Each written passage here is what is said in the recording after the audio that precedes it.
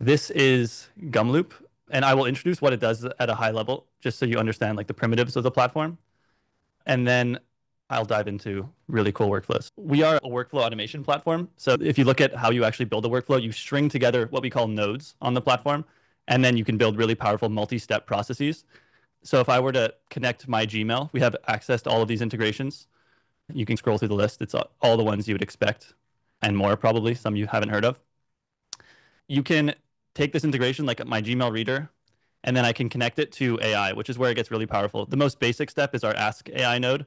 You can just say, translate this to French, for example, and then it's translating the email bodies to French. But I can pick any large language model here to, to make this happen. So you can see which one performs better for the task. This is a pretty contrived, silly example, but you can imagine the power here when you connect your data with AI. And then there's much more powerful uh, applications of AI, like data extraction, categorization, image generation, deep research, image and video analysis, sorting, scoring. All of the things that AI is uniquely good at are pre-engineered for you, and then you can just connect that into multi-step workflows. That is like the first chapter of Gumloop, the no-code platform.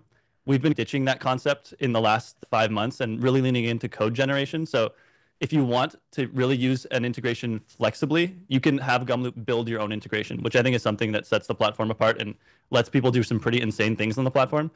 So instead of using our pre-configured Google Calendar nodes, for example, you can just describe your own. So I can say, get all my meetings from the last 24 hours with more than two attendees that contain someone from outside of at gumloop.com. Gummie, our little assistant here, will actually generate the entire node. So it's going to plan what are the inputs, what are the outputs, what does this user actually want this node to do, and it's going to in the background code a Python script that's invoking the MCP tools, which is more detail than you probably need. But basically, you're getting a totally custom integration, and then you'll be able to share this with your entire company if you wanted to. So if I just I have, it takes a minute for it to generate all the code and plan everything and reason through the problem. But I do have the custom node example here. I just did it right before the call. So it'll generate a node like this where you can pick your calendars. It lets me specify the minimum number of attendees in the domain filter. And then I can just run this workflow and see all of my external meetings outputted in about half a second here. So I can go look at my meetings and see all of them outputted there for the rest of the workflow to handle. Another thing that Gumloop, so you can see it's building basically the exact same node here. Another thing that Gumloop is pretty uniquely fit to handle is custom integrations, which I think makes it really powerful. So you can just, I could paste in the internal docs for our, an internal API, and it would build the integration for me. So in this case, I can say call a webhook and let me pass in some data. So it's really just open-ended, call an API. Gummie will build this integration for me too. So non-technical people can integrate their own third-party platforms that Gumloop doesn't even support, and then publish this to their internal library for other people to uh, make use of the last thing I'll so while it's cooking, I don't want to waste too much time in our session here watching it code. But the last thing I want to show is our agent can actually build workflows end to end for you. So the learning curve kind of gets completely flattened here. If I open Gummie Agent here and I say create an AI report of my mentions of my brand on Reddit, it'll actually build the entire workflow for you. So it'll build the, the individual integrations and then string that together into a larger workflow. So right now it's determined there needs to be an input and then there needs to be a Reddit node. It needs to analyze that with AI and then send an email with a really beautifully structured brand report. Okay, while it's cooking, so you can see it's adding nodes one by one, one by one. We can actually see it reasoning through everything. So if you want to get into the weeds and see what it's actually thinking under the hood, how it's approaching the problem, you can do that. And then I could interrupt it at any time and say, no, I actually want it to do this. I want you to send me six emails for six different brands. And I want you to dump all of these reports into Google Drive. Uh, it'll be able to do that as well. And then you get a hyper reliable workflow you can run whenever you want. You can see it connected. It determined it wants the top 100 posts by relevance from all time or from the last week. And it wants to get the post titles, URLs, contents. Gummie's honestly smarter than I am, at, better at building workflows than I am, so I use it for pretty much everything now. But let's go into real use cases, things that I use every single day. The single best source I found for hiring is open source contributors. They're people who really care about something that doesn't might not even benefit them monetarily. They just care about a project so deeply that they're contributing to like the greater good. So I made a workflow that does deep research on every single person who contributed to an open source repository and then lets me know who the most hireable person is. So the workflow has a Gumloop interface on top, which is a UI layer you can throw on top of your workflow so that people can actually use it. In this case, I, I have it bookmarked and I just use it whenever I find a cool repository that I think is impressive. It will, let me just show you the output first to, to go straight to the end. So this was a repository I was running it on. This is the actual open source repo that built the uh, the node framework that a lot of these projects like Gumloop use.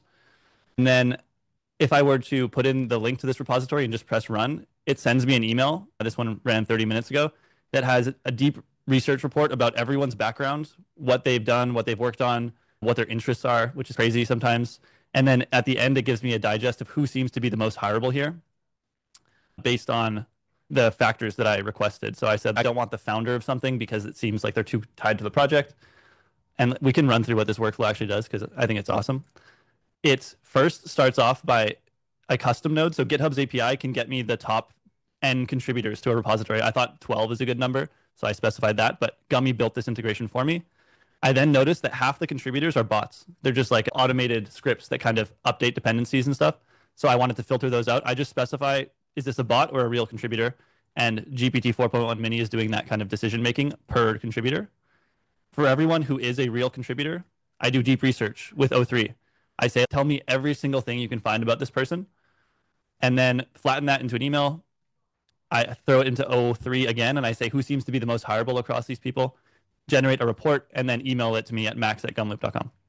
Pretty simple, but like one of the most val- valuable workflows I have in my kind of toolkit right now.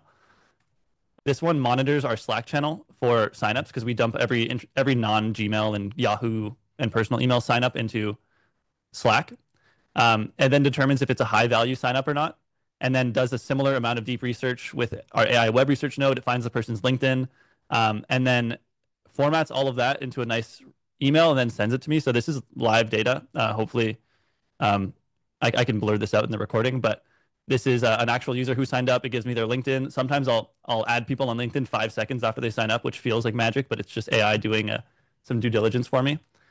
Um, and then we can reach out to these people because uh, we know everything about their background and uh, we've scraped their LinkedIn and, and determined if they're a high value sign up. The next one is one that our growth intern uses. We've been doing a lot of TikTok marketing and getting the word out that Gumloop is super powerful over TikTok.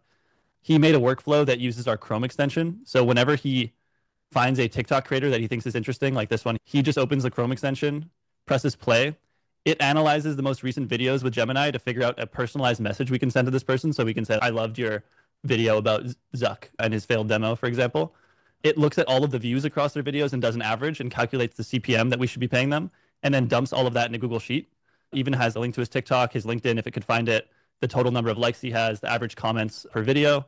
And then if we're doing an influencer campaign, our growth intern is running through TikTok and just clicking run on all of these different profiles and building an entire kind of lead list of people we should reach out to with all of the research done. This one also was built by our intern Joseph, who's monitoring Reddit for mentions about Gumloop.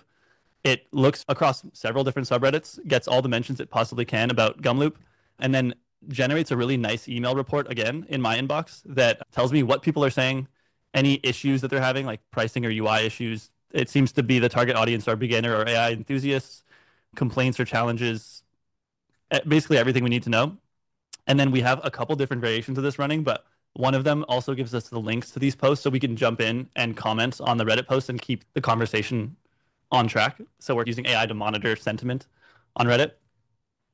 This one was one I built with a customer that was trying to find restaurants. I just thought I don't use this one every day, but I thought it was really cool.